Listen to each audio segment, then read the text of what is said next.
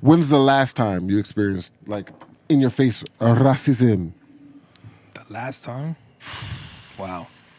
It's been a while since COVID. Yeah. Racismo. It's just because it happened. Yeah, just you know, It's amazing to me to go into a place where Is it true- employees wear uniforms, and you come in, and then they ask you, "Do you work here?" That's why I, I make it a duty of myself, and it's, this is passed down by my man Dubs.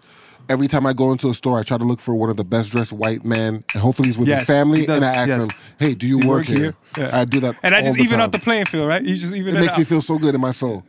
It, it does something for me inside. I go straight to the family, like, "Hey, um, you guys work here?" It's an entire family, but let me White know. people, Yeah. random, No? because they Oh, happen to me all the time. Nigga, you think I work here, nigga?